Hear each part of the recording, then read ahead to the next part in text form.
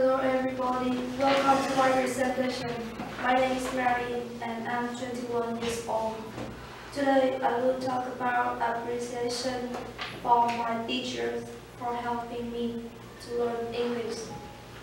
First, I would like to share how I feel when I arrived here. I was scared because I will encounter new people and I also was scared. And I also was scared to talk with other foreign students because I'm not fluent in English. But I tried my best to communicate with them since I have to study here for three months.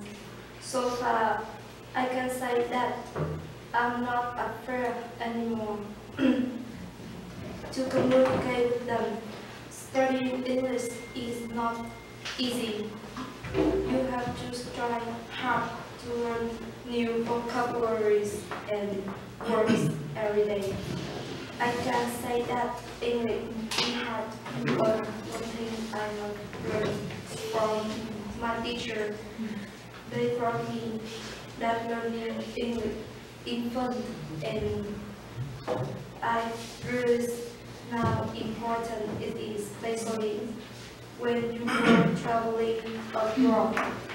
My other teacher taught me that English is a universal language. Means it will connect with people in different countries. Aside from that, if you can speak English, you will you will boost your your you will not decide to face other people. Thank you so much to all my teachers who have left on me.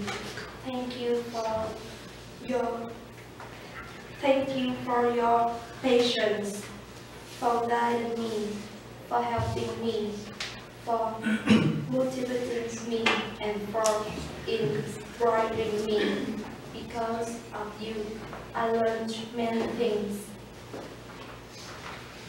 Thank you, teachers, for being inclusive and friendly all the time. I will all, I wish all my teacher happiness and I hope to see you again someday. That's for my presentation.